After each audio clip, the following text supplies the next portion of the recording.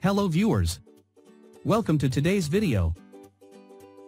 In this video, I will show you how you can upload our browser extension to the browser's web store and create a link that you can share with your user. We have covered the importance of our browser extension in a separate video.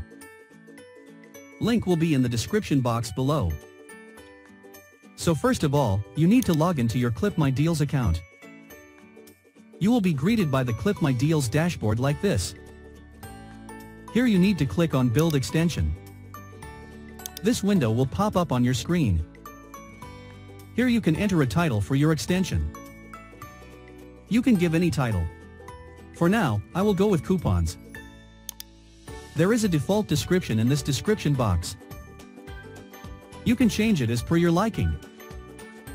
I am going to keep it as it is for now.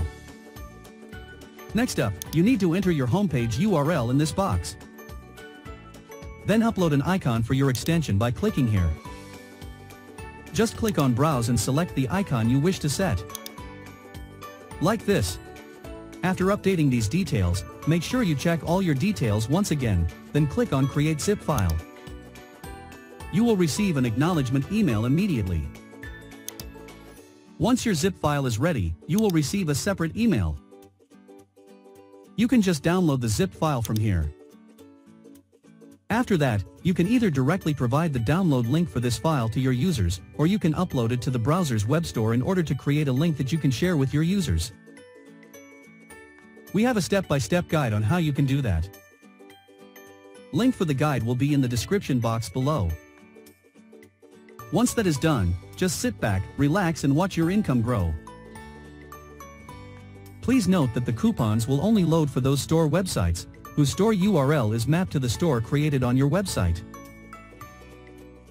You can make sure that the store URL is updated for a specific store by going to your WordPress admin panel. Just go to Coupons and then click on Stores. Then click on Edit for the store you wish to update. This is where the store URL needs to be updated. That's all for this video.